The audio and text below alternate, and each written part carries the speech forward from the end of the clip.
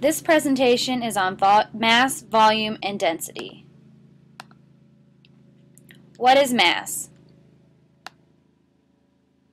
Mass can be considered the weight of an object. Mass is a collection of incoherent particles or objects that form one body. How can mass be found?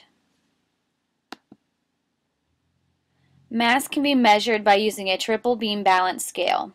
You put the object on the scale, start by moving the 100s place value on the scale first, and then move the tens and the ones.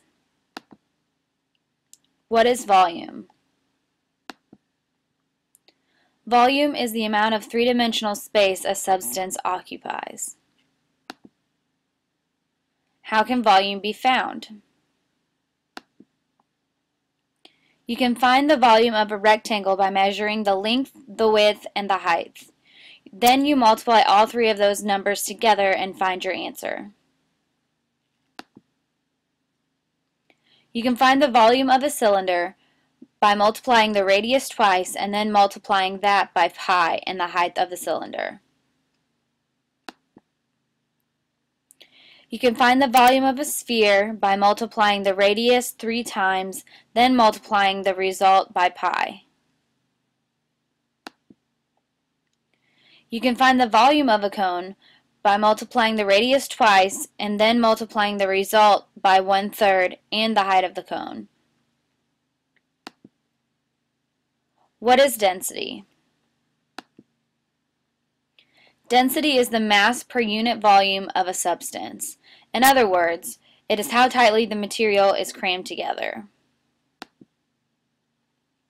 How can density be found?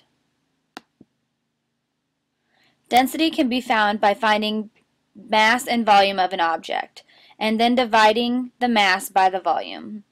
The formula for density is mass divided by volume.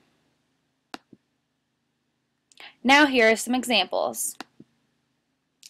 Some examples of mass can be a rock, a chair, or even a building.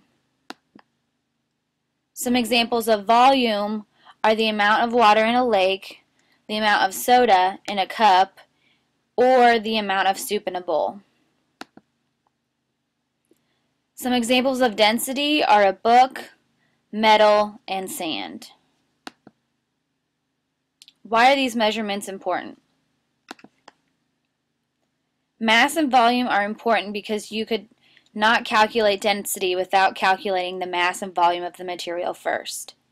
Density is important because it measures how dense an object is. Any questions?